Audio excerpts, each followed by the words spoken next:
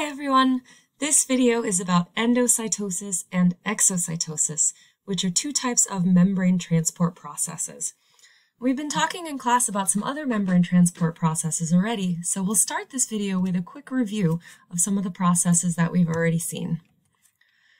We started with passive membrane transport processes, which are movement down a concentration gradient from where something is in high concentration to where it's at low concentration. And the first method of passive membrane transport that we looked at was simple diffusion, which is when molecules can simply wiggle their way between phospholipids to get across a membrane. So in this example here, we've got our cell membrane here represented by this double layer of phospholipids, and you can see we're starting with a concentration gradient. This blue molecule is very highly concentrated on this side of the membrane, and it's much less or none on this side of the membrane. And as time goes by, this molecule is able to just diffuse between the phospholipids until it's approximately equally concentrated on both sides of the membrane. And this only works for small nonpolar molecules that can interact easily with the hydrophobic tails of the phospholipids in the membrane. Another process that we looked at is facilitated diffusion, which is similar, but when molecules move across the membrane by going through a transport protein. In this example down here, you can see once again there is a concentration gradient, with a high concentration on this side of the membrane and a low concentration of the green molecule on this side of the membrane. And the molecules are moving down their concentration gradient from high concentration to low, but rather than going through the phospholipids, they have to go through a transport protein. And this occurs when we have molecules that are still small but charged or polar, and so they can't interact easily with the hydrophobic tails of the phospholipids. And the classic example of this is osmosis, or the movement of water across a membrane. These processes will proceed until the system reaches equilibrium, or the molecules are approximately equally distributed on both sides of the membrane, and they do not require any additional energy. They're completely based on the kinetic energy and natural motion of the molecules. We also have learned about active transport, which is movement up or against a concentration gradient, movement from where a molecule is less concentrated to where it is more concentrated. In this example, the membrane is represented by the gray line, and you can see that there's still a concentration gradient. There's more of the blue molecule on this side than this side, but rather than going down the concentration gradient from high concentration to low, these molecules are actually being moved up or against their concentration gradient from low concentration to high.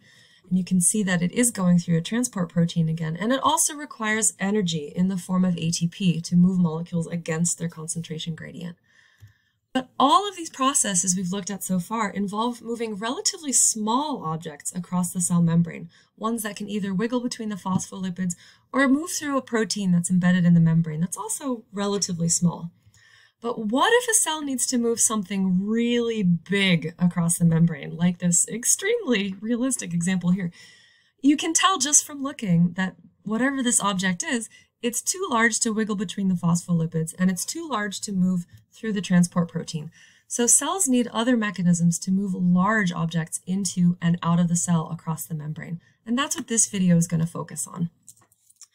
When cells need to move large objects into or out of the cell, they will use vesicles. And we've seen vesicles already this year when we were learning about um, how proteins are produced and, and transported out of the cell. So we've learned about vesicles that can pinch off the rough endoplasmic reticulum and move to the Golgi and fuse with the Golgi. And we learned about vesicles that can leave the Golgi, pinch off from there, and fuse with the cell membrane outside. So this is something we've seen before, and you already know that vesicles can fuse with or pinch off of other membranes in the cell. And that's because vesicles and cell membranes are made of the same thing. They're both primarily made of that double layer of phospholipids, that phospholipid bilayer. So if we were to zoom in on a cell membrane, you'd see it's mostly made of this double layer of phospholipids. And the vesicle, same thing. It's a smaller piece, smaller sphere, but once again, this double layer of phospholipids. And you know from studying membranes that there'd be other things embedded in there too, like proteins and maybe cholesterol, but they're mostly made up of this double layer of phospholipids. So there are two vesicle-based membrane transport processes that cells can use. There's endocytosis, which moves large objects into cells, and exocytosis, which moves large objects out of cells. So we're going to take a closer look at each one of these and how they work. We'll start with endocytosis. So this moves objects into cells And the, prefix endo just literally means inside, so moving things inside the cell. So this might enable a cell to take in food particles from the outside, engulf prey items, and things like that. How does it work? Well, the first thing that has to happen is the cell needs to know that there's something outside that it wants. It needs some way of sensing an object. In this diagram here, we've got the cell membrane as this curved red line separating the inside of the cell, the cytoplasm here, from the extracellular fluid here. And here's an object that this cell wants. We're not going to go into details about how the cell senses these objects. It's using surface proteins and some chemical signaling.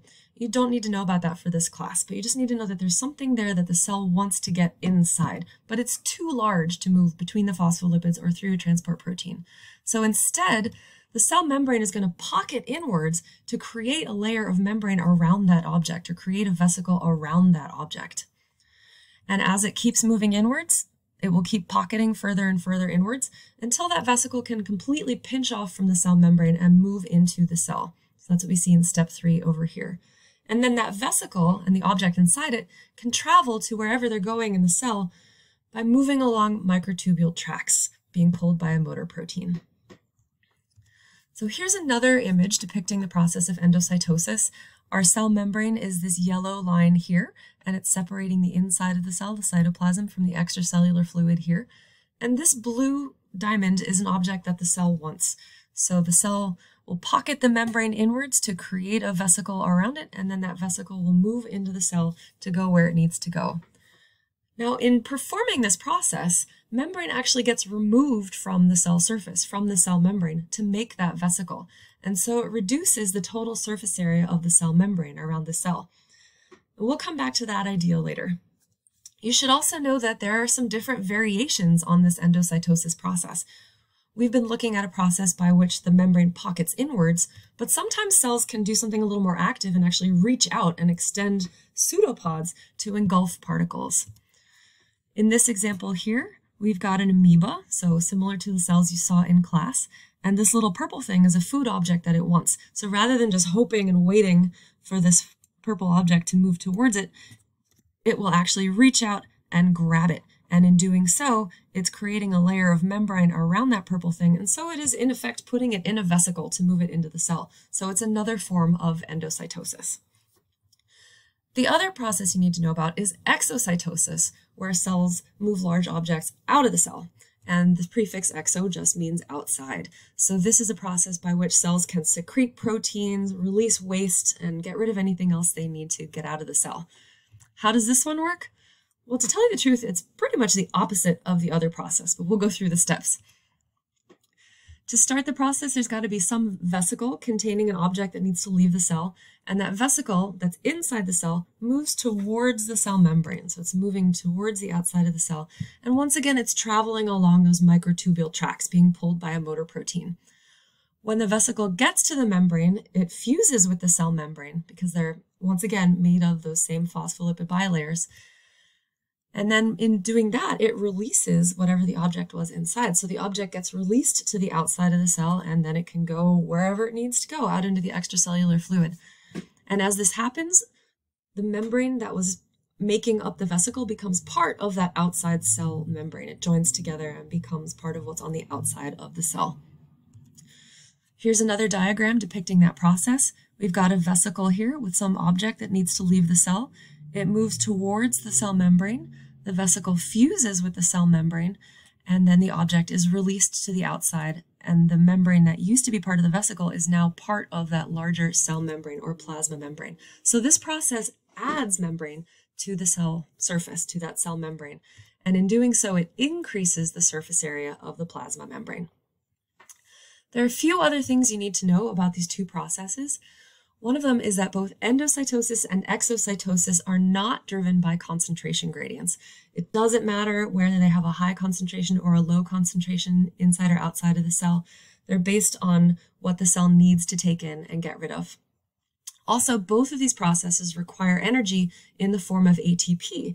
There's some very energy expensive things going on, such as changing the shape of the cell membrane. In this diagram here of endocytosis, you can see the cell extending out the plasma membrane to engulf this particle and produce a vesicle around it. changing this, the shape of the plasma membrane out here requires a reorganization of the cytoskeletal fibers that are right under here supporting that cell membrane. So that takes energy. And also once the vesicle is in the cell, it requires energy to move it along those microtubule tracks. Here you can see a vesicle getting pulled along a microtubule track by a motor protein, and this motor protein needs lots and lots of ATP to walk down the microtubule to pull that vesicle. And finally, these processes of endocytosis and exocytosis must occur at approximately equal rates in a cell in order for the cell not to get bigger or smaller because it could be gaining or losing membrane. So we don't want the cell to gain or lose too much membrane. If the cell is doing much more endocytosis, then it's going to be losing membrane. And if the cell is doing much more exocytosis, it's going to be adding a lot of vesicle pieces to its larger cell membrane. So in order for the cell to to stay happy and healthy, those two processes need to kind of balance out. And in this diagram here, you can see both endocytosis and exocytosis happening in this cell as it takes in food particles in a vesicle, uses a lysosome to digest them, and then releases waste via exocytosis. I should mention also that your cells don't do these processes in quite the same way. Because you're a big fancy human with a whole digestive system, your individual cells don't need to take in food this way via endocytosis, and they, they don't release their the, the waste that you digest in quite the same way. But this is how a protist or a similar creature might take in and process their food and get rid of their waste. So to review, small objects can enter or exit cells via the processes of simple diffusion, facilitated diffusion, or active transport. And in all three of these, they could be moving either between the phospholipids or through a transport protein. So it only works if they're small. But large objects cannot pass through phospholipids or through transport proteins, so they require vesicles to get into or out of the cells. The process of endocytosis moves large objects into cells, and the process of exocytosis moves large objects out of cells. So now you've learned all the different types of membrane transport processes that you need to know for this class. So until next time, take care of yourself, take care of each other.